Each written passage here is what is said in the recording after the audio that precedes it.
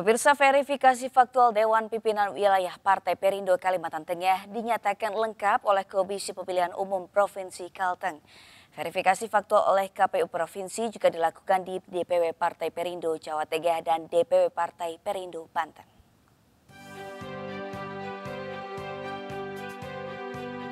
Jelang pemilu 2024 mendatang, DPW Partai Perindo Kalimantan Tengah menjalani verifikasi faktual oleh Komisi Pemilihan Umum Provinsi.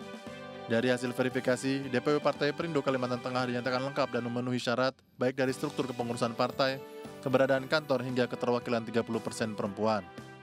Saya optimis bahwa verifikasi ketiga-tiga yang diverifikasi yang saya sebut tadi akan terpenuhi seluruh Kalimantan Tengah.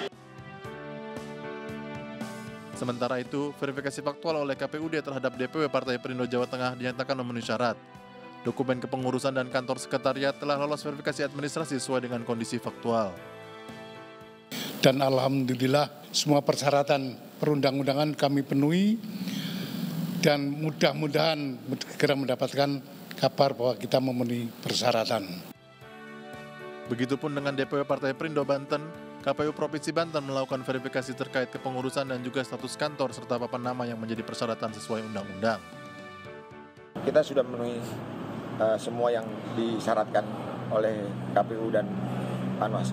Untuk proses selanjutnya kita tunggu ke pengumuman dari uh, KPU pusat, Pak, hmm. tentang memenuhi syarat atau belum memenuhi syarat uh, dari uh, verifikasi DPU hari ini.